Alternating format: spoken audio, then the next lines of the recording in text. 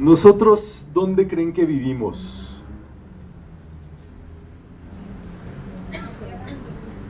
En la tierra, bueno, hay unos que están en las nubes. No, como en el limbo. ¿Qué pasó contigo? ¿Eh? ¿Vas a entrar o no? Decídete. No, no puedes andar ahí en medio de la puerta tú. Eh, nosotros vivimos en nuestra mente. Pero para ser más exactos, nosotros vivimos en nuestra conciencia. Nuestra casa es producto de nuestra conciencia, de nuestra idea de casa que tenemos como un arquetipo y que se refleja en lo que nosotros hacemos. Nuestra idea de vida es un arquetipo que nosotros estamos exteriorizando. Todo lo que nosotros creemos interiormente se deja ver y se dejan ver nuestras creencias. El lugar donde vivimos es nuestra conciencia. El asunto es tal cual que nuestra conciencia tiene limitaciones. Nuestra posibilidad de ver todavía no es completa. Y por eso seguimos viviendo acá.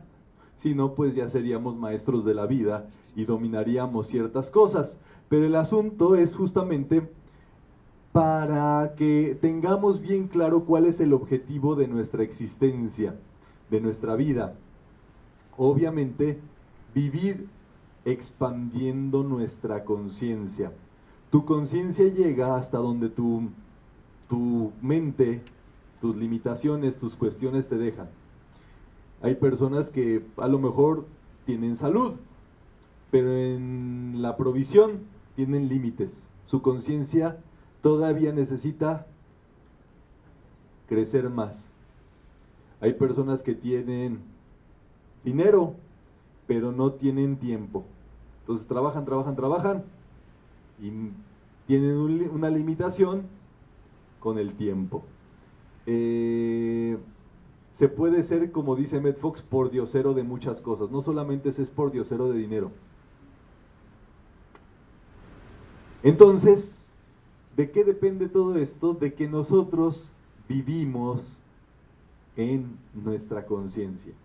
Y si nosotros mejoramos nuestra conciencia, si nosotros nos ocupamos de purificarla, de limpiarla, como tu casa, pues, de construir, de estar pensando siempre qué nuevas habitaciones vas a construir, qué nuevas cualidades, qué vas a realizar ahora en tu vida, es justamente ahí como nos vamos mejorando y donde se nos deja ver más un mundo mejor, un mundo superior, que siempre está a nuestra disposición. Que nosotros no lo veamos no quiere decir que no esté ahí. Dice el principito, ¿verdad? Que las cosas más evidentes resultan invisibles al ojo, o lo más, lo más evidente es invisible. Entonces, ¿qué tenemos que hacer nosotros? ¿Qué se les ocurre para amplificar nuestra conciencia? De pronto se vuelve un cliché todo eso del despertar de la conciencia. Yo cuando hablaba de, eh, escuchaba esas cosas, yo me imaginaba a hippies bailando con batitas así en los prados. Como despierta tu conciencia, hermano. Pero eh, que alguien te diga despierta tu conciencia, ¿te hace despertar? No. Que alguien te diga que llegaste tarde, ¿te hace llegar temprano? No. Pero si esa puerta se cierra, ¿qué pasa? aprendes por vivencia. Siéntense adelante, chicas, acaban de llegar, es la primera vez. Apaguen celulares, guarden todo, siéntense cómodas y pórtense bien. aquí también, querida. Aquí adelantito te sientas, por favor.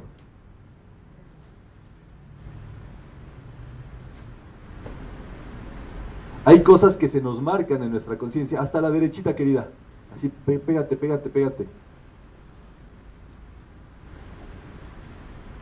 y que se nos guardan y que no cometemos ya porque ya estamos en ese sentido listos, dispuestos y muchas cosas. Entonces, por supuesto, ¿de qué se trata enseñanza metafísica? Vamos a ir a la raíz del asunto. Se trata de vivir en el cielo. ¿Y se puede vivir en el cielo? A ver, díganme, ¿quién de ustedes vive en la tierra? Ahora no, ninguno vive en la tierra. A ver, ¿quién de ustedes vive en el cielo? Yo, en las dos partes. No, no, no, espérate. Ay, sí, no. Estás como la de la puerta ahí. Mitad adentro y mitad afuera. A ver, decídanse aquí, no pueden ser tibios. Es que como dice que como es arriba es abajo. El cielo está en la tierra. Depende de abajo, es arriba. Compruébenmelo. Pues. Nada, espérense, ustedes, ustedes son muy metafísicos, ustedes deberían de estar aquí dando la charla y yo les debería de dar geología o algo así, estudios de la tierra, agricultura. A ver, ¿quién dijo que vive en el cielo? Levante la mano. A ver, ¿tú por qué dices que vives en el cielo?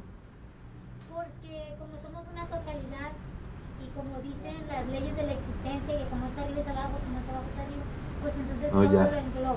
Y vivo, soy energía y vivo. No, tú como dices una cosa, dices otra. Todo depende del nivel de conciencia.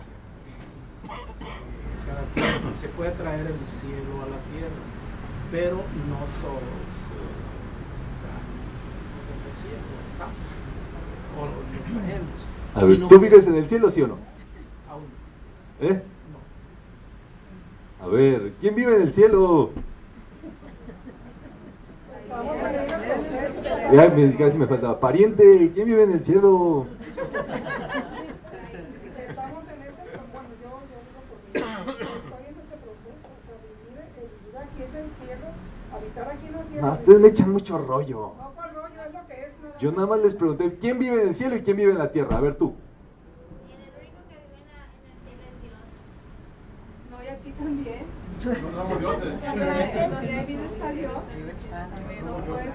A ver, levante la mano y dejen, aquí no es el Estadio Azteca. Se supone que debemos de vivir el cielo en la tierra, ¿no? Depende de cómo veas la vida, la percepción como la tengas y la conciencia que tengas. Si Es- disfrutas de la vida y, y quieres tu vida como la tienes y estás en esa conciencia, lógicamente eh, tienes el cielo en la tierra. Ok. ¿Quién vive en el cielo? ¿Quién vive en la tierra? ¿Dónde viven?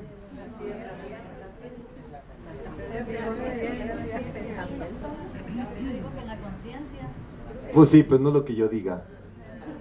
Es lo que ustedes han comprobado. Eso es eso es es súper interesante y por supuesto es para que lo meditemos. ¿Dónde comienza el cielo? No, tú estás muy metafísica, tú ya ponte a dar charlas tú. ¿Dónde comienza el cielo? De aquí hacia arriba. ¿Acaso no es donde acaba la tierra? El cielo comienza donde acaba la tierra.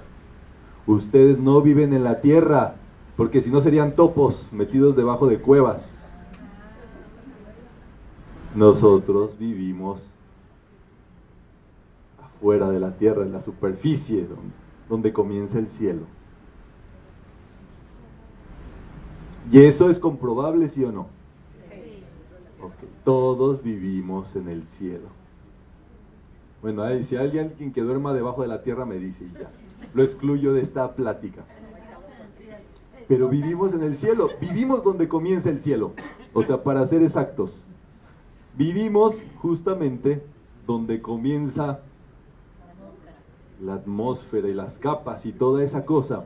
Por supuesto, ¿cuál es el sentido metafísico de, de dónde vivimos? Pues por supuesto que cada quien elige dónde vivir. Eso es una decisión. Eh, cuando le- les preguntaba, me gusta preguntarles así. Porque dice, se supone que, dicen, se supone que, o yo he oído que, o tú dijiste que. Pero si ustedes se dan cuenta, nadie dijo, yo vivo en el cielo. Y que se taparan los oídos para no escuchar otra cosa. O sea, esta cosa de vivir en el cielo, vivir feliz, o sea, el cielo es metafísicamente, metafóricamente, vivir en ese jardín del Edén, que es una alegoría más. Vivir ahí en la tierra donde emana leche y miel, vivir bien pues, vivir feliz, vivir contento, vivir agradecido, vivir eh, siempre eh, consciente y, y gustando de lo que uno tiene, de lo que uno puede hacer y haciéndolo. Ese es el cielo, por supuesto. Esa es la armonía.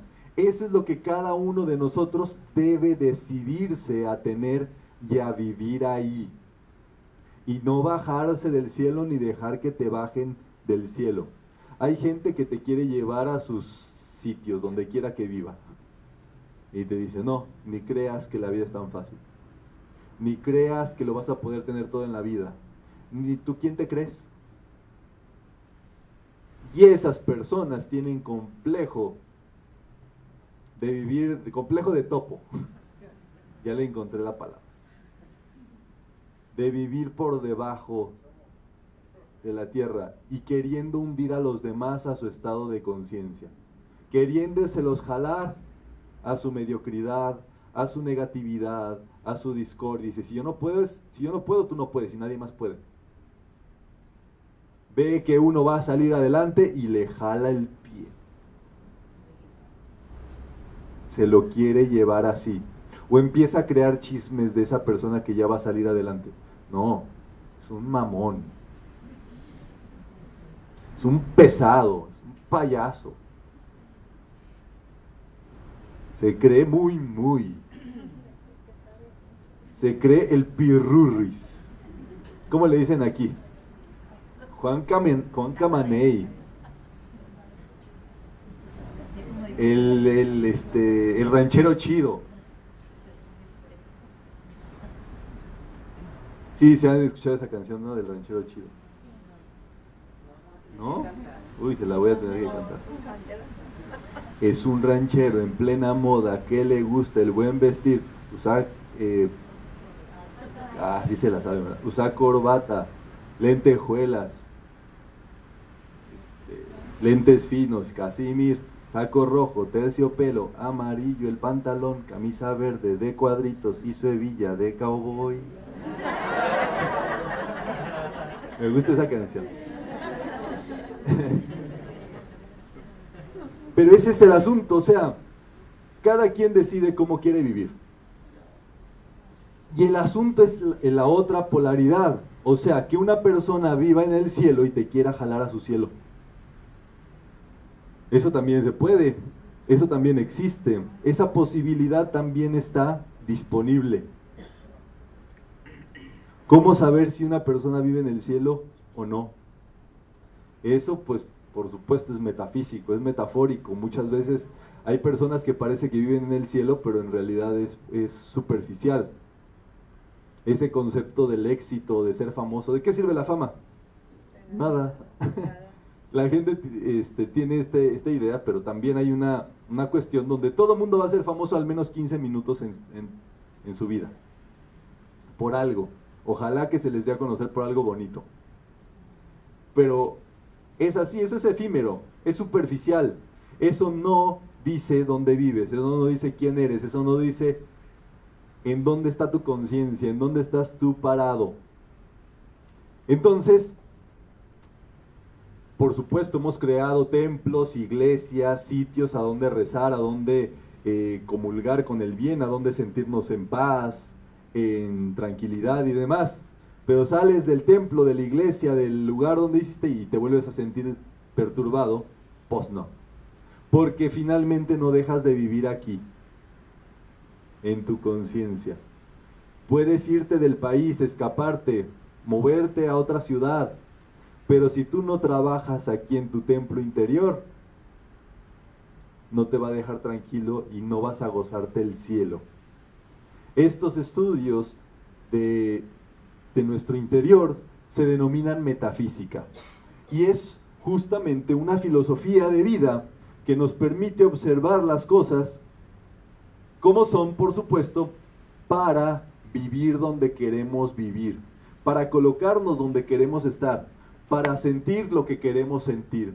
Y ahí nada más nosotros mandamos. Nadie más gobierna ahí. Nadie puede gobernarte tu mente, tus sentimientos, tu mundo interior. Ese está intacto. Por más que te quieran obligar a hacer cosas y demás, tu mundo metafísico, tu magia metafísica, no se mancha, no se intoxica. Esta es la plataforma de la enseñanza que vamos a, estudiar acá. Es para vivir en el, en el cielo. Es- metafísica quiere decir lo que está más allá de lo físico. Lo que está pasando el punto físico. Todo lo que existe pero que no vemos, como los pensamientos y los sentimientos. Entonces, cada uno de nosotros tiene, así como tiene sus partes del cuerpo, sus cualidades físicas, uno tiene cualidades metafísicas. ¿O no? Eso también sucede. A tal grado, se los voy a plantear como es, que por, por ejemplo, si ustedes son amorosos o generosos, esa es una cualidad metafísica de su naturaleza. Porque si fuera por la, por la materia, el codo está hecho para rechinar. Y nuestro espíritu, nuestro ser interior, nuestra fuerza interior está hecha para dar, para ser generosos. Cuando ayudamos a alguien o cuando le compramos un regalo a alguien, ¿cómo nos sentimos? Alegres, dichosos de poder ayudar, de hacer algo, etc. Y cuando no, pues eso se, eso se siente mal, pues, o sea, es la parte material la que estamos pen- pensando. Cuando uno está centaveando, contando los centavos, uno está en el plano terrenal carnal. Uno es como si se metiera debajo de la tierra a vivir. Y cuando uno vive suelto, holgado, despreocupado y demás, uno entra a ese plano del cielo. Entonces, hay justamente cuatro objetivos de metafísica que se cumplen de acuerdo a lo que nosotros eh, practicamos. Esto es así.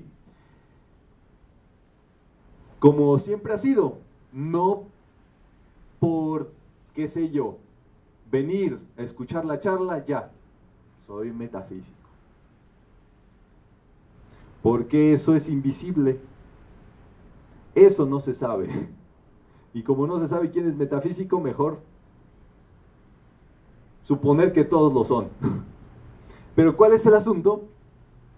Que nosotros tenemos cuatro objetivos que cumplir aquí. Número uno, la mente positiva.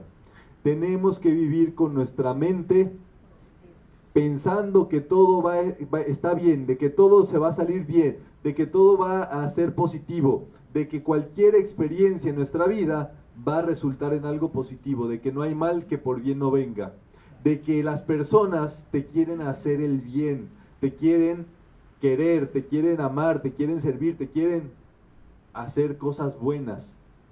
Tú no puedes vivir con miedo, tú no puedes desconfiar de la gente y pensar mal de la gente, porque al que piensa mal se le pudre el tamal. Eso ya, eso ya se lo saben ustedes. Si piensas mal, así te va en la vida. Porque automáticamente eso te regresa y te viene. Tú todo el tiempo, aún teniendo pruebas de que una persona puede ser negativa, discordante y demás, tú debes de pensarles bien. Porque eso te blinda de que no te hagan a ti ningún daño, de que no te pase nada. Hay personas de pronto que son así súper, ¿cómo sé yo? Yo sé este, decirlo como despreocupadas, afables, todo se les resbala. ¿Y qué les pasa en la vida? Nada. Dices, ¿cómo puedes, cómo te protege Dios cuando vas manejando así? Ay, no, pues, tranquila.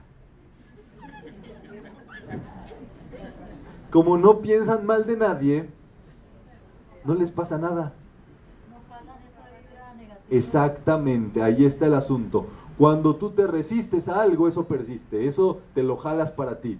Cuando tú te complicas la vida, piensas mal de alguien, jalas ese conflicto y esa negatividad para tu existencia. Es tal cual. Entonces el asunto es que una vez que uno se decide a practicar estos estudios, porque eso es lo que uno hace, es que ya no puedes pensar mal de nada ni de nadie. Porque si tú tienes muchas palabras para decir de alguien, es que tienes mucha porquería interior. Jesús lo decía más bonito, creo. Voy a comentar una experiencia ¿no? de hace años. No, espérate, espérate, ya. Yo tengo el tiempo contado. Luego me la, me la cuentas, me la mandas por Twitter. Entonces, ¿cuál es el asunto aquí? Que cada uno de nosotros tiene que darse cuenta de, es- de esta realidad interior que tiene y que uno elige con qué se quiere conectar. Uno elige qué quiere pensar. A lo mejor vienen a ti pensamientos negativos, pero tú luego, luego debes decir, esto no me pertenece. ¿Cómo es? Esto no me pertenece, esto no lo acepto ni para mí ni para nadie. Puede suceder que hayas conversado con alguna persona antes de venir para acá o antes de ir a algún sitio y como todo se chupa, se la chupaste. La energía mental. Me mandaron un meme el otro día, decía, que te chupen todo menos la energía. Pero ese es el asunto. No te pertenece. Esos pensamientos discordantes no, no son nuestros, nunca han sido. Nuestra naturaleza no viene con esos pensamientos discordantes, pero se nos pegan del ambiente.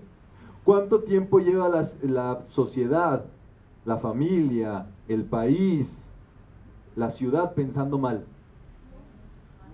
Si nos remontamos así francos, hace 500 años estaban haciendo sacrificios humanos ahí en las pirámides, en Tenochtitlán y todo eso. ¿Ustedes creen que lo hacían eso por amor? ¿Sacrificar a otra, a otra persona? Eso es odio. Y eso, por supuesto, uno crece y entonces cree que eso es normal. Las civilizaciones avanzan y ya no son sacrificios humanos, son otro tipo de cosas. ¿Por qué? Porque el odio es la raíz. Los pensamientos discordantes están ahí. Los hemos aceptado como si fueran nuestros y no es así. Piensen en un bebé que viene nuevito y le enseñan a decir, tú eres de aquí. Y si te pegan los de allá, hazles de cosas, defiéndete, aquí y allá. Lo hacen crecer, le injertan el odio. ¿Y de dónde viene ese odio? sepa la bola.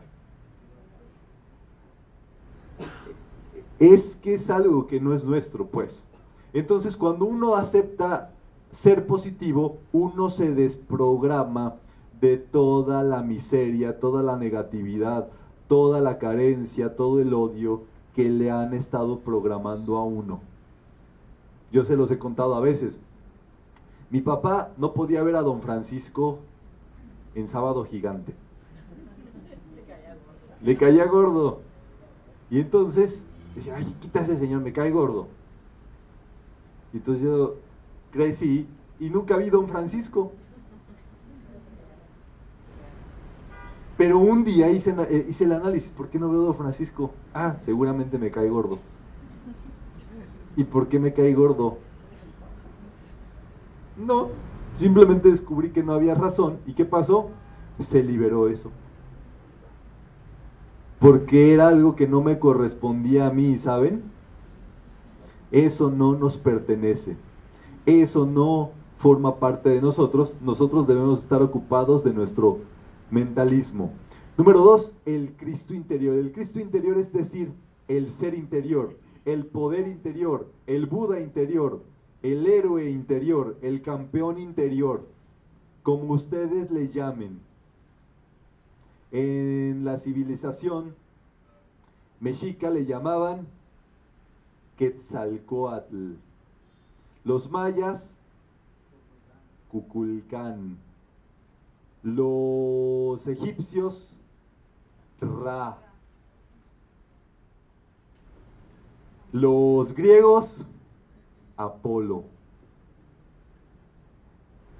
los lamas tibetanos, Padmapani. Todos le hemos puesto este nombre. Últimamente se le, eh, por cuestiones de- del cristianismo, se le ha denominado el Cristo, que no es el nombre de una persona, corresponde el nombre de una actividad, una actitud ante la vida, de poder resolverlo todo, de poder conocerlo todo y de poder amar, servir, ayudar en cualquier circunstancia, con todo el poder y con toda la fuerza. Eh, meditaba un poquito antes de, de- de esta sesión al respecto de, porque venía en el bus, me tomé mi, ¿cómo, cómo se llama? Este, Unidos de Sinaloa, desde Mazatlán, muy bonito por cierto, tanto agüita y todo. Y entonces, pues nada, yo me subí a ese bus y yo estaba pensando todas las cosas que tenía que hacer. Y dije, bueno, voy a aprovechar para hablar con tal, hacer tal, esto, el otro, aquí, aquí, allá, etcétera. Entonces dije, pues que estas tres horas que se echa más o menos, pues que sean provechosas. Y ya me concentré, me puse mis audífonos y me puse a hacer cosas, a trabajar finalmente. Y entonces me, en alguna situación me tuve que parar porque me dio hambrita. Y me paré, este, saqué algo que traía por ahí, volteé a ver el, a mis compañeros de viaje. Todo el, el bus dormido.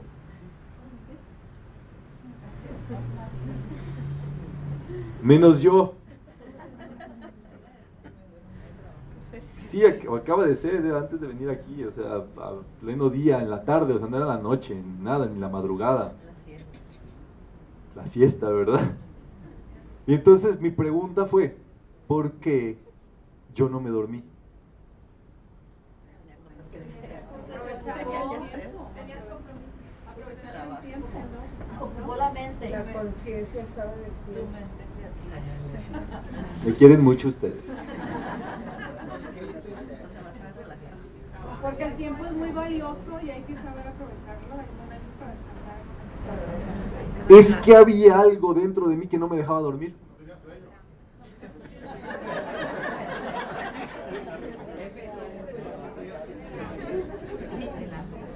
Es pieza de meditación eso. ¿Cuál es el punto clave de, de este asunto del Cristo interior, del poder interior? No es tanto el despertar de la conciencia. Es que cuando tú te dispongas a eso, no te van a dejar dormir. Tu conciencia no te va a dejar dormir por todo lo que tienes que hacer y que tú ves que es necesario hacer y que nadie más puede hacer. Y por eso no duermes. ¿Ganas de dormir? Yo soy como los caballos, me puedo, tengo el don de dormirme así parado y todo. Pero ¿por qué no? Porque no podía, exactamente, porque tengo compromisos, porque hay cosas que te ocupan. Y, y eso es muy importante, ¿me entienden? En, nuestra vida.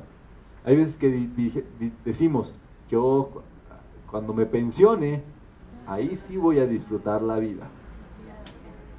¿Qué estás decretando? Tu muerte.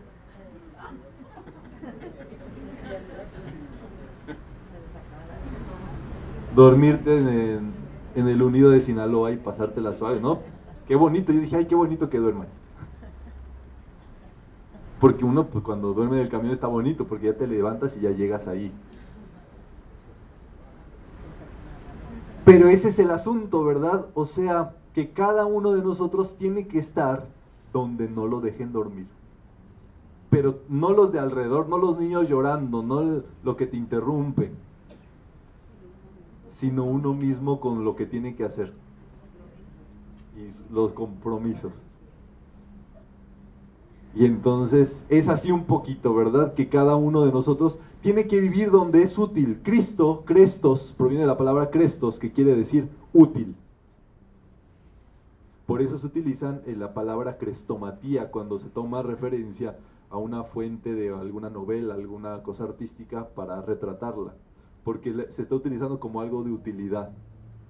Entonces, nosotros tenemos que buscar y pedir y estar donde somos útiles. Los siete rayos es una actividad muy grande, es algo que vamos a estudiar próximamente, que es las siete facultades interiores que tenemos que desarrollar. Cada uno de nosotros tiene facultades exteriores e interiores. Las exteriores pues son tangibles de pronto, porque eh, si eres fuerte o si eh, eres rápido, si eres ágil, etcétera, etcétera, físicamente pues lo logras, pero lo interior, las verdaderas facultades interiores están ahí. Son eh, cualidades y son capacidades. Cuando tú las tienes, tienes una capacidad interior, por ejemplo, la capacidad de perdonar. ¿Ustedes creen que se nace sabiendo perdonar? No se nace sabiendo nada en la vida. Uno necesita aprender la técnica. Uno necesita aprender también a verificar si uno está pensando bien. Uno debe de aprender a observarse. Uno debe de aprender a desarrollar estas cosas interiores. Y es súper bonito, por supuesto, estar puesto para ello. Pero sí nos representa pues un esfuerzo, obviamente. ¿Cuál es el asunto? Que si tú amas, tienes esa cualidad interior, tienes esa capacidad interior. Y por eso la gente viene y te da besos y tienes muchos seres queridos a tu alrededor y todo eso. ¿Por qué? Porque tú tienes esa capacidad. Y la vida te responde con eso. Ahora bien, cuando una persona es odiosilla, como no tiene esa facultad o esa capacidad, es un discapacitado interiormente. Y se lo estoy pintando crudo, crudo, crudo como es. Es real. Hablar mal de una persona discapacitada es una crueldad. En el interior y en el exterior. Burlarse de alguien que tiene una discapacidad es cruel. Todas esas personas que cometen errores que son y que evidentemente no tienen estas capacidades interiores son discapacitados interiores y merecen un poquito de caridad. Claro, por supuesto, todos tenemos alguna cuestión que superar en nuestra vida. Nadie está aquí en el mundo con una posición de decir, ah, ya, me, ya vi que tú eres discapacitado, ya me explicaron que te debo de tener paciencia. No vayan a llegar a su casa así. Porque los primeros que en este reconocimiento somos nosotros. Uno debe de reconocer que uno siempre puede ampliar su conciencia, uno siempre puede mejorar el lugar donde vive, uno siempre puede ser más feliz, uno siempre puede amar más, este, tener más riqueza, más salud, más belleza, etc. Entonces, esos son justamente los siete rayos. Hay una charla completa de eso y por supuesto el perdón. Tan importante perdonar. El perdonar es la neutralización de toda experiencia negativa en nuestra vida. Es necesario que perdonemos porque si no, no podemos elevarnos, no podemos ascender, no podemos vivir lo que nos toca vivir mientras nosotros le carguemos cuentas a alguien o nosotros mismos tengamos eh, situaciones que hayamos cometido. Vamos a leer qué es metafísica, si les parece bien. Es una enseñanza mágica que resuelve dificultades y hace a la gente feliz. Se ocupa de la mente positiva, los siete rayos, el Cristo interno y el perdón. Es así, cada uno de estos aspectos corresponde a un objetivo, en el donde el objetivo número uno es Número dos. Número tres. Y número cuatro. Qué interesante es eso. Perdonar y volverse a levantar. Tú debes de desarrollar la capacidad interior de, de tener fe en tu propia fuerza para levantarte ante cualquier adversidad. Eso sí se vuelve algo tremendo. Que tú no, más, no tengas miedo a caerte, al contrario, tú estés por adelantado de eso, que tú estés sabiendo que si sucede algo, tú tienes la capacidad para levantarte. Eso es así. ¿Cómo funciona? Por supuesto, con los pilares de metafísica que están contenidos en un texto que se llama justamente así, los pilares que es la pieza fundamental que todo estudiante pues debe de llevar si quiere comenzar sus estudios formales de, de metafísica y también en los que ya tienen su libro de conciencia de sí mismo, aquí también vienen los primeros capítulos, son los pilares. ¿Ok? Entonces, ahí este es el gran compendio. El gran compendio es el estudio de todo lo que ocupamos saber de nuestro mundo interior. Descalabras a alguien. Pero si tú aprendes bien estas leyes, te va a ir muy bien. Empezando por lo básico. Ya hemos visto algunas de ellas, pero vamos a seguir avanzando. ¿Qué pasa con esto? Por supuesto, la enseñanza metafísica se trata de cómo nosotros vivimos. ¿Cómo vieron su ciudad hoy?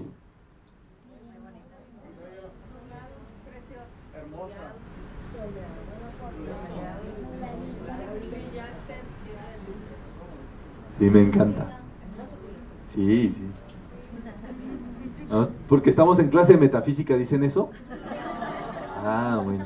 Así, así se... Hoy le dijeron a alguien, eso que me dijeron a mí, ¿ya se lo dijeron a alguien hoy, antes de venir? A mí me encanta mi ciudad. ¿Ya se lo dijiste a alguien antes de venir aquí?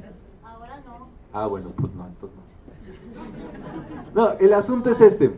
¿Cómo ves tú el mundo? Es como tú estás por dentro. Había un sabio griego que estaba en las puertas de Atenas.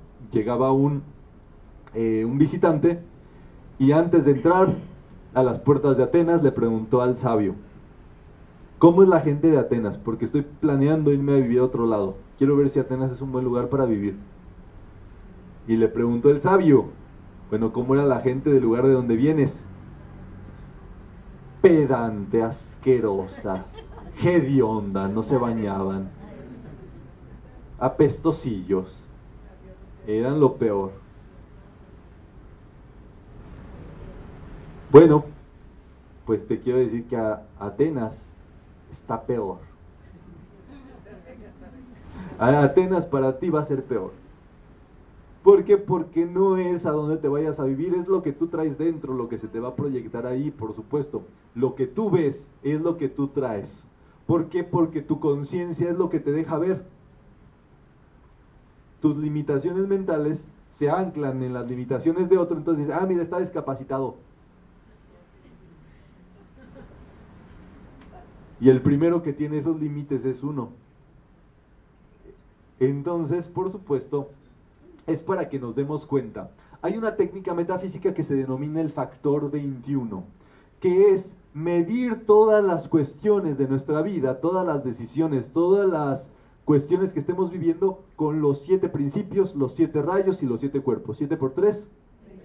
Este universo es séptuple, en, el universo donde vivimos es séptuple.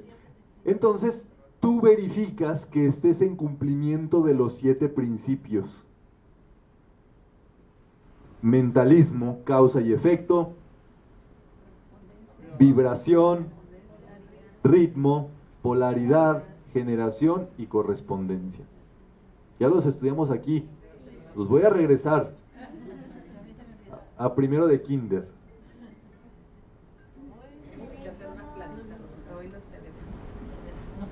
Hay que apagar esos teléfonos. ¿Ya está apagado? El asunto es ese. Todos los asuntos de nuestra vida se resuelven con este factor 21. El asunto es saber en qué principio está la solución que hay que meterle, saber qué rayos hay que echarle y saber en qué cuerpo o en qué envoltura o en qué nivel está ocurriendo de nuestra vida. Y cuando tú lo clarificas y dices, ¿sabes qué? Yo pensé mal de este compañero del trabajo y me sentí ofendido y todo esto. Cuando tú corriges el error y tú dices, yo pienso bien de este amigo, ese amigo solamente me hace bien, este amigo y yo este, nos va a ir muy bien. Corriges tu mundo emocional, corriges tu pensamiento y le echas el rayo rosa del amor o el rayo azul de la buena voluntad. Y corriges la situación. Por supuesto, hay que estudiar los siete principios, los siete rayos y los siete cuerpos. Podemos leer el conocimiento que el ser humano requiere sobre sí mismo, los seres que lo rodean, los reinos de la naturaleza, el mundo que circunda. Eso es así. Pues nada, este, a nadie es ajeno lo que pasó por acá eh, recientemente y tiene muchas explicaciones.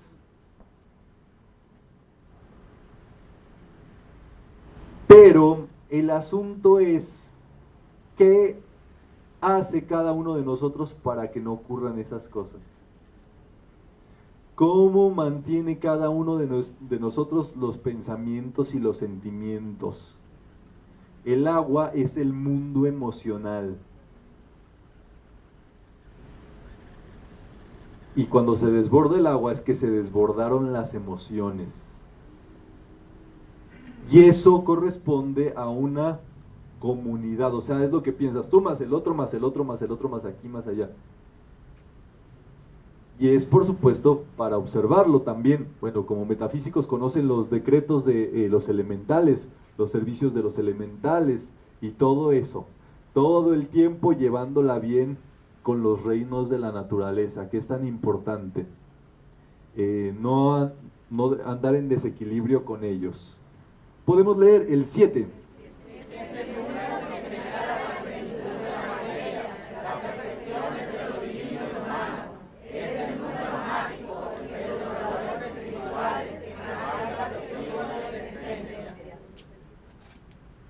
Muy bien, toda nuestra vida es séptuple. Esto quiere decir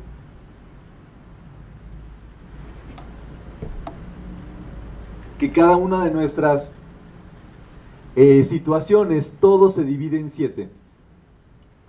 No es necesario que tomes fotos, mija, te me distraes. Apaga tu celular tú. Esto queda grabado, esto lo pueden, lo pueden ver después, lo pueden seguir, etcétera, etcétera. O sea, de nada sirve estar anotando nada porque no están concentrados. Entonces, ¿qué es lo que pasa? Que nuestra vida se divide en siete. Del 0 a los 7 años se conforma el cuerpo físico. Un niño menor de 7 años no puede controlar su cuerpo físico. Le dice, siéntate ahí, y de pronto está saltando ahí arriba del, del candelabro y, y volando y demás. ¿Por qué? Porque no controla su cuerpo físico. No lo domina. 14 años, el cuerpo emocional, la edad de la punzada. Llegas allí con tu puberto favorito. Cállate, no me veas.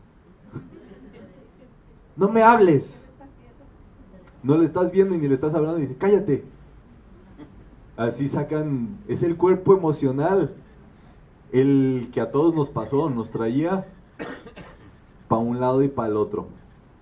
7, 14 y luego siguen. Bueno, se supone que a los 21 años uno logra el control de su mente. Se conforma el cuerpo mental. O sea, toda tu, tu organización mental a los 21 años se, ya se puede, ya tienes una forma para conectar mentalmente cosas. Y así luego sigue 28, 35, 41, perdón, 42 y 49. Y ahí a muchos se les hace agua la canoa. Allí se cumplen siete ciclos de siete. Siete por siete. Se cierran los siete ciclos y a las personas de esa edad les comienza una nueva vida. Empiezan como desde ceros.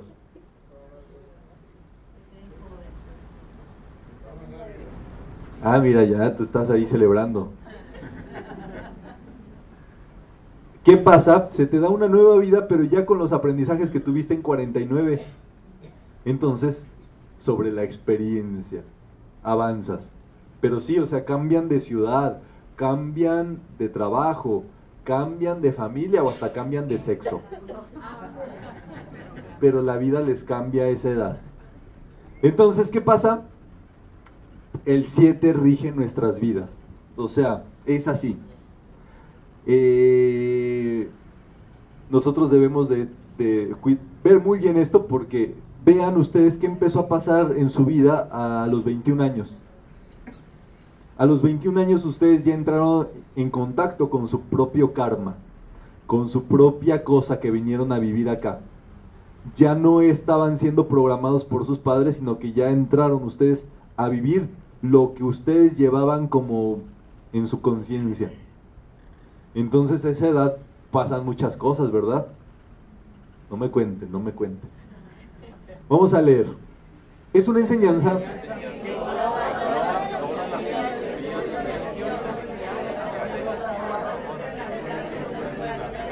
No, no, no, me los voy a regresar. Si estamos estudiando filosofía metafísica es porque ya sabemos leer, sabemos este, seguir los signos de puntuación, porque ya entonamos la voz. Entonces vamos todos. Es una enseñanza que engloba todas las filosofías y estudios religiosos que han existido hasta ahora. Se encuentra en la vida misma, se aprende por radiación, sin esfuerzos intelectuales, se graba de modo natural en la mente y los sentimientos y de la misma manera surge su práctica. ¿Qué quiere decir? Que esta enseñanza se graba interiormente. Cuando uno la ha practicado, ha venido, ya ha decretado, meditado y todo, cuando uno ocupa trabajar eso, te aflora. Y dices, me sorprendo de mí mismo. No sabía que yo podía hacer esos decretos. No sabía que yo podía meditar así. Y te sale. Y luego la familia, así les pasa a los que aprenden la llama violeta. Entonces ya después se te pega y dices, llama violeta con eso. O así estás hablando con, le quito poder, llama violeta. ¿Y qué pasa? En las casas, en los trabajos, en las oficinas, al rato lo escuchas, le quito poder, hermana, llama violeta con eso. Y, y lo adoptan también, porque de que se pega, se pega. Cuando hay un metafísico en la casa, al rato lo- los otros andan así. Mamá, tengo un examen, mándame un decreto.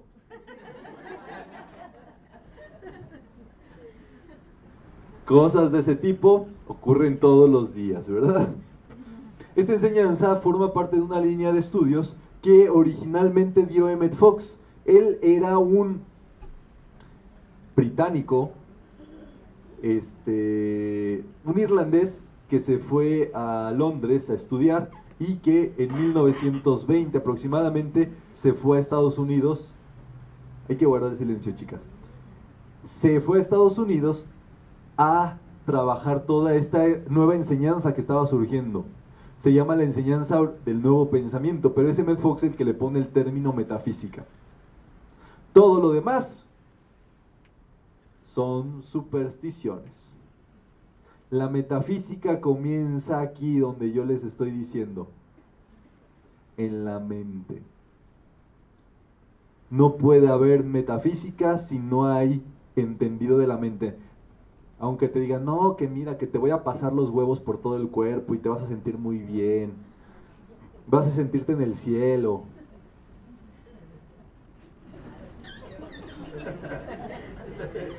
Mira, si es por placer, ustedes son libres de hacer lo que quieran. Pero que no les involucren na- ninguna cuestión espiritual ahí, que me los anden hueveando.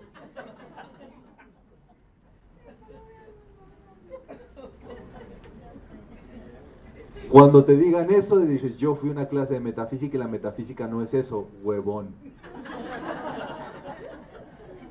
Huevos de oro. como- No, porque la metafísica, ¿qué es? Mente. Entonces tú, si te pasan los huevos o no, ¿te va a ir bien en la vida? Si te pendulean, si te alinean los chakras, si te tocan el kundalini.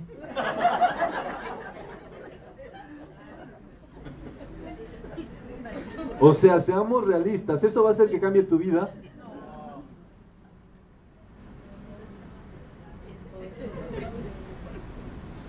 Y si ya les tocó, pues ya, espero que lo hayan disfrutado. El experimento, pero eso no es metafísica. Esas son cosas ast- astrales, emocionales, que ya, cuando tú entras en el dominio de la mente, pierden poder. Porque ahí nadie te puede hacer daño. Cuando tú tienes esta protección mental, nada te daña. Entonces Emmett Fox empezó con esto. Él instruyó a Connie Méndez. Connie Méndez vivió en New York. Ella era venezolana, estadounidense. Y eh, vivió en New York y allí conoció a Emmett Fox. Estudió con él. Se le pegó como su secretaria. Y después ella tradujo todas las enseñanzas de español. Es el primer ser humano que dio la enseñanza metafísica en español fue mujer, y es eh, Connie Méndez, es la, la mamá de todos los metafísicos. Y Connie Méndez le dio la enseñanza a Rubén Cedeño, que era un niño de 17 años cuando empezó a juntarse con ella, y entonces pues le dio toda la enseñanza, y Rubén es quien ha continuado con todo este esfuerzo eh, pues por mucho tiempo, y es a quien se le debe pues mucha nueva eh, fórmula que, metafísica que hay, o sea, expandir todo eso, ¿verdad? Connie Méndez, a su vez, estudió con el maestro Saint Germain, en el sentido de cómo llevar las reuniones ordenadamente, que haya silencio, que no se más que chicle, todas esas cosas son justamente, no porque a mí se me ocurrieron, es porque esa es la fórmula comprobada para que uno aprenda estas enseñanzas. Y esto lleva ya, yo creo que va a cumplir más de 100 años ahora, estamos en el 2018, si Emmett Fox empezó con esto en los 20, prácticamente estaríamos hablando de un centenario de práctica metafísica. Entonces, pues por supuesto, Connie Mendel le pasó toda esta información a Rubén Cedeño, muchas veces uno empieza con Connie Méndez, y luego lo que ha hecho Rubén Cedeño es que ha expandido toda esta enseñanza en distintos países, con distintos facilitadores y demás, y hay congresos de todos estos estudios, se hacen viajes, este fue en el 2012 al lago Titicaca en Perú, acá está el lago. Ya, yo ya les di una charla de ese lago, ¿verdad? ¿No? Bueno, algún día se las voy a dar. Es un lago metafísico, es un lago muy misterioso, pero es metafísico. Entonces se hacen congresos, se hacen eventos, se hacen conferencias en distintas partes del mundo y eh, con la finalidad de estudiar todas estas cuestiones. Eso pues uno lo comienza a estudiar un día, a lo mejor viene por primera vez a la charla, pero luego si a uno le gusta esto, uno se enchufa, se conecta y sigue y sigue y sigue y sigue. Eso no quiere decir que te vas a meter de monje metafísico. Eso quiere decir que hagas lo que hagas, que avanzas, que estudias, trabajas, lo que hagas y demás, siempre vas a estar con tus estudios interiores.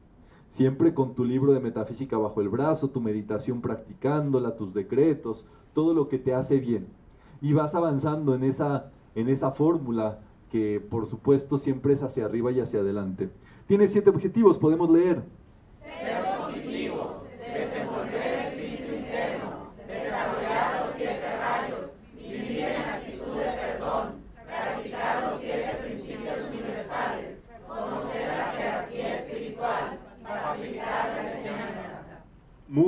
eso es así. Cada uno de nosotros, pues, eh, puede cumplir con esos objetivos si quiere. Y bueno, está en distintos países. Este, como les dije, el Pilares es el libro eh, con el cual uno comienza muchas veces el estudio metafísico. Y cada estudiante expande la enseñanza cuando sonríe o regala uno de sus libros. Si el que estudia la enseñanza espiritual está feliz y les gusta, pasa la voz y atrae más gente. Eso es así. Vente, amigo, vamos a la charla. Y ya. Muy bien. Entonces, rápidamente vamos a ir con los siete fundamentos interiores. Es para poner las cosas en claro. ¿Quién es Dios? Es un barbón fortachón que está mandando rayitos ahí desde el cosmos. ¿Qué es Dios? Yo soy, yo soy. totalidad, no aparte de ahí. Podemos leer. Es la energía. Es todas las cosas vistas como un solo ser. Es la energía que está en todo. No hay nada que no sea Dios. El conocimiento que tienes y la práctica de su presencia hace que tus asuntos marchen estupendamente. Es la energía, es todo en todos. Cuando tú pones en marcha esa energía en tu vida, tú haces que Dios y la presencia de Dios se active en tu mundo. Ese es un fundamento interior. Podemos leer todos juntos.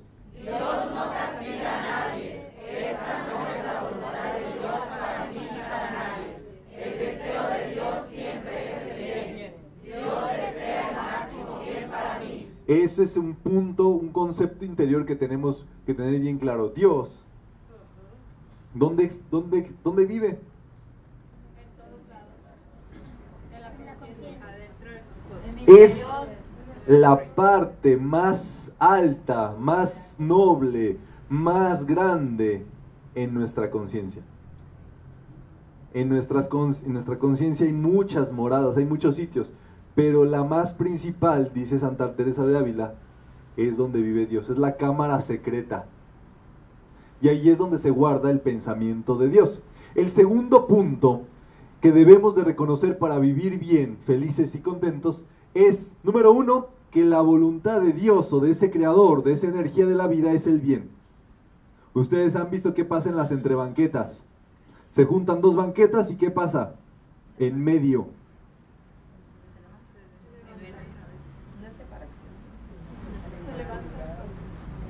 Ya me salieron ingenieros de banquetas ustedes. Yo he visto que sale pastito. No, ustedes son ingenieros. Sale pastito. ¿Y quién sembró el pastito ahí? ¿Hay un, ¿Hay un jardinero de pastitos de entre banquetas? Dios. ¿Eso qué quiere decir? Que así seas tierra en medio de dos banquetas, Dios te hace prosperar.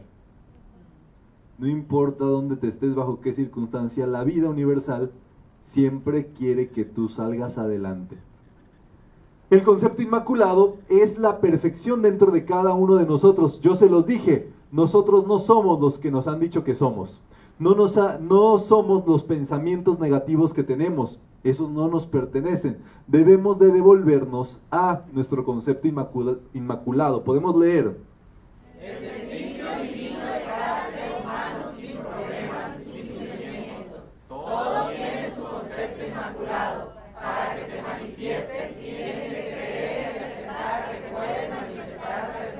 Eso es así. Cada uno de nosotros debe decir ante toda negatividad, no lo acepto porque yo tengo un concepto inmaculado de perfección. Podemos decretar si les parece bien.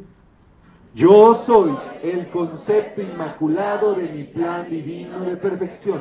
Muy bien, este plan divino de perfección que es el propósito divino de nuestra existencia, el propósito por el que estamos acá. ¿Qué quiere decir que sea divino? Que es feliz, que es contento. Cuando dices que algo te gusta, dices, está divino, está padrísimo. ¿Por qué decimos que está padre?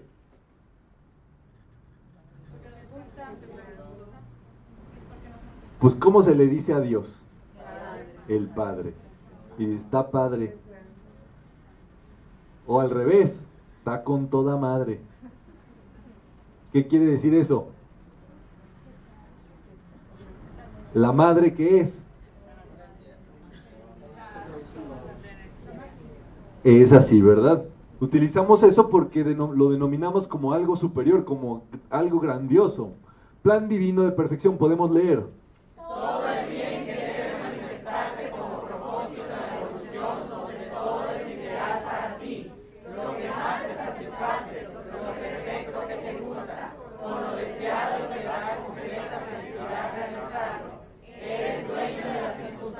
Eso es así, estás con eh, tu cumplimiento, lo que veniste a realizar aquí completo. Si estás en un lugar que no te gusta, donde te avientan el mueble, donde te hacen de cosas, donde hablan mal y tú no estás contento, ese no es tu lugar.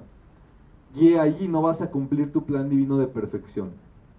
No haga nada que no les diga su corazón, su ser interior, nada que no les guste, nada que no les haga felices. Y va a colocarse en este punto del plan divino. El plan divino es hacer, ocuparte, por supuesto, de cosas constructivas, útiles, pero que te gustan, que te llenan, que justamente eh, va de la mano con tu propósito. El siguiente eh, fundamento es el estado de gracia. Eso quiere decir vivir con las cualidades divinas positivas. Eso es así. Cuando dices, tiene un no sé qué, qué sé yo, que para qué te cuento. Tiene gracia, es gracioso. Tiene chispa. Tiene ángel. Tiene luz. Eso es la gracia, ¿verdad? Es algo que viene y que tú sabes quién lo tiene y quién no lo tiene. Y es así, ¿verdad? Entonces, la gracia es algo, todo lo que llena tu vida de cualidades positivas. Si tú tienes cualidades positivas, eres agraciado. Y si no, desgraciado. La armonía es el siguiente fundamento. Podemos leer. Eso es así. La armonía es cuando todo se sincroniza. Donde tú tienes que llegar al lugar y al mismo tiempo que llegas, todo sucede, pasa, llega a tiempo todas las personas, se cumple el propósito, te vas, cumples con todo. Todo salió bien, todo se sincronizó, pude hacer todo, pude cumplir con todo. Eso estaba en armonía. Eso tenía que ser así y estabas en contacto con tu ser interior, con tu poder interior. Podemos decretar todos juntos. Yo soy el estado de gracia sin una sola negatividad. Yo soy el estado de gracia sin una sola negatividad. Yo soy el estado de gracia sin una sola negatividad. ¿Por qué decretamos? Justamente para que se nos pegue esto todo lo que tú decretas lo atraes a tu vida y es muy importante es que si tú quieres vivir en el cielo, pues lo atraigas para ti. Podemos leer, a las personas inarmónicas nadie las quiere y la gente armónica es deseada en todas partes. Es así y te invitan a todos lados. Y te invitan a los 15 años de Rubí, al bautizo, a la primera comunión. Nunca te falta pari. Chica, de rosa, ¿Sabes por qué anotas? Te estoy preguntando. Sí, yo te pregunté otra cosa. ¿Sabes por qué anotas? Porque tienes miedo de que se te vaya a olvidar. Porque no confías en ti, no crees que eres lo suficientemente inteligente para poder acordarte del decreto y tú sí lo eres. Te han dicho que tienes que anotar, que tienes que hacer cosas. Y dime qué está escrito en tu cuaderno de primaria de geografía. Eso no existe. El poder interior se lleva adentro. Y si tú crees que te vas a acordar de todos estos decretos, tú te acuerdas y los haces cuando menos te imaginas. Vamos a decretarlos para que se nos graben completamente. Yo soy la armonía aquí en mí. Yo soy la armonía aquí en mí. Yo soy la armonía aquí en mí. Eso es así, constantemente hay que ponerse. Por supuesto, el cielo existe. Es un estado de conciencia interior. Es cuando tú vives en, bien, en bienestar, en paz. Nada te quita el sueño, y estás tranquilo, pero al mismo tiempo activo. Podemos leer todos juntos. Es un estado de conciencia interno de completa felicidad y perfección. Pensamiento positivo. Sentimientos hermosos. Decretar constructivamente. Música armónica. Colores del arco iris. Perfumes de los rayos y sonreír. Estos son los siete puntos que te van a hacer que te baje el cielo. Los comienzo de abajo para arriba.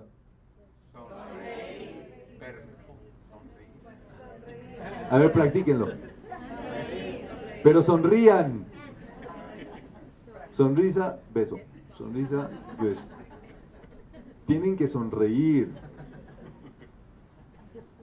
Un metafísico triste no es más que un triste metafísico. Si a ustedes, ustedes practican esto del positivismo, de la buena, la buena vida y disfrutar y ver con filosofía las cosas, ustedes tienen que estar todo el tiempo sonreídos. Punto número 6. A ver, huélanse.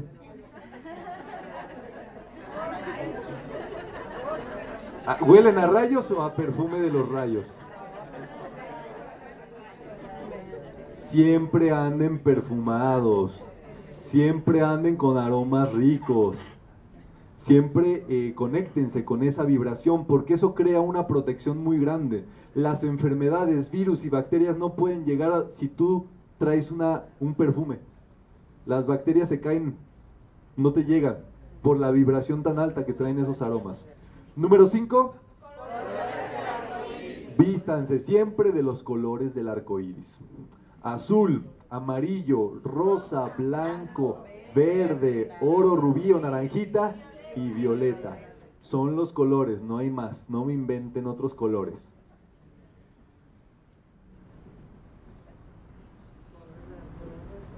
Número 4. Pónganse canciones bonitas usualmente piezas académicas. Hay grupos eh, de metafísica aquí donde se comparten las llaves tonales eh, y demás para que uno escuche música linda, siempre esté conectado con vibraciones altas. Nada que el Commander y la Tracalosa, ni, ni Paquita la del barrio, ni nada de eso. Porque eso te baja. Tú estabas en el cielo y empiezas rata inmunda, animal rastrero. Eso te lleva a las cloacas del, del inframundo, dice. Ese es así. Tercer punto. Es así, siempre decreta cosas positivas, me va a ir bien, nos vamos a ser felices. Yo soy positivo, yo tengo dinero, a mí me, todo me responde bien. Te pones con eso como una decisión. Número dos. Sentir cosas lindas, siempre la ternura, el gozo por las demás personas y por la vida. Y el punto número uno. Regresamos, podemos decretar. Mi plano es el cielo de armonía, felicidad y prosperidad y libertad que Dios me da. Y así, ¿verdad? Para que andes tú aquí con las palomitas en la plaza aquí de, de Culiacán. ¿Cómo se llama el, el templo? Siempre me... Sí, pero ¿a quién está dedicada? ¿A San Miguel? ¿Y fueron a verlo? Es del mundo, tú Es de... el patrono de Culiacán. Sí, yo sé, pero es del mundo. Ah, bueno, bueno, pero yo estoy aclarando. es. Él no tiene nacionalidad. Miren, yo, yo les tengo que decir. El mexicano podrá ser lo que sea, podrá creer en Dios o no creer en Dios, pero que la Virgen de Guadalupe y el Arcángel Miguel, ahí, todos le van a... Y entonces, ¿qué hacen los mexicanos? Dicen, es Culichi el Arcángel Miguel.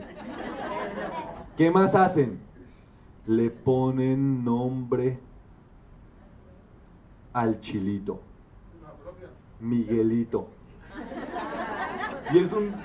eh, Sale un angelito azul. Crean marcas de cemento. Cruz Azul. Ese es el patrón del arcángel Miguel. Equipos de fútbol que les va muy mal, por cierto.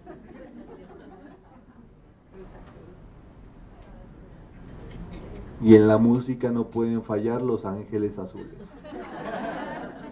Todo mundo quiere al arcángel Miguel, está bien. A ver, pero Kulichi, ¿fuiste a verlo el sábado? Yo sí fui. Ah, ¿verdad? Ay, sí, sí, sí, pa- están buenos para poner. Sí, sí, justo es esto. Miren, el arcángel Miguel es súper, súper, súper grande. ¿Cuál es el asunto? Los ángeles, los arcángeles, los maestros, todos ellos tienen vínculo con nosotros a través de nuestra conciencia. Es, por supuesto, El arcángel Miguel así, netamente es el brazo derecho de Dios. El mero mero sabor ranchero. ¿Y cuál es el asunto? Por supuesto, eh, pues hay que conocerlo. Es súper importante para nuestra protección, para nuestra fe y demás. Este texto acaba de salir justamente del arcángel Miguel, pues en conmemoración de su día. Y es eh, súper interesante comprenderlo y demás. Ya en algún momento, pues habrá charlas por aquí, hay que, hay que armarlas. Ya te, te paso esa batuta, Plácido, para armar eh, actividades del arcángel Miguel. Libre albedrío, podemos leer todos juntos.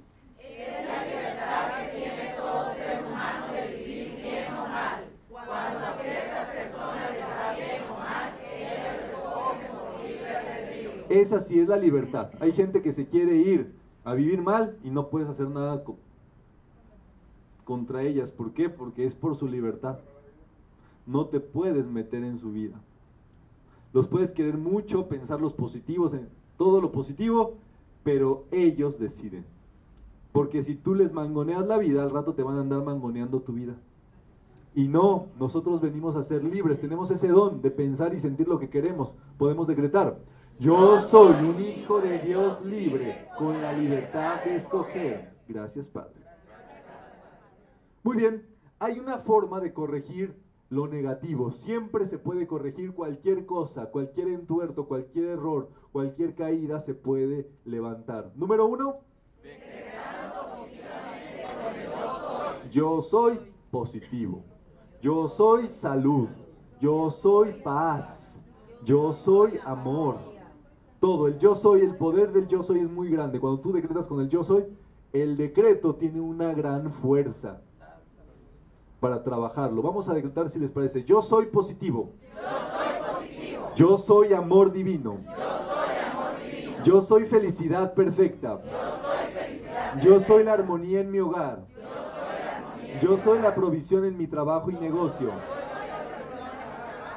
Yo soy feliz. Pero sonríen. Digo, yo soy feliz. Y se ponen duros. Es feliz, ¿verdad? Si decretas felicidad, es feliz. ¿Cómo se corrige el segundo punto? Transmutando con la ley del perdón. Eso lo vamos a trabajar a profundidad. Número tres. Eso es siempre decretar un aspecto positivo contrario a la, a la cuestión que esté ocurriendo. Podemos decretar, yo soy el cumplimiento de mi plan divino de perfección. ¿Cómo es? Yo soy el cumplimiento de mi plan divino de perfección. Yo soy el cumplimiento de mi plan divino de perfección.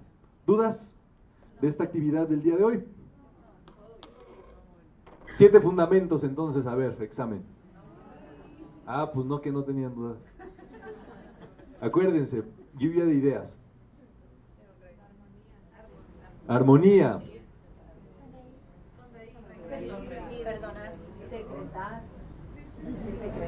no, usted.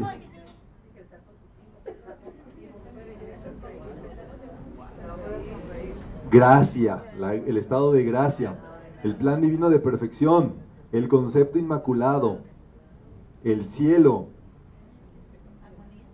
Ya, ya lo dijeron. Nos faltan dos. ¿El primero cuál fue? Pensamiento positivo. Pensamiento positivo. Dios y el cielo. Son los siete fundamentos interiores. Estudienlos en sus libros para poder ir avanzando con el programa. ¿Vale? ¿Dudas, dudas, dudas? ¿Todo bien? Perfecto. Pues vamos a cerrar esta sesión desde Culiacán, Sinaloa, en México, justamente.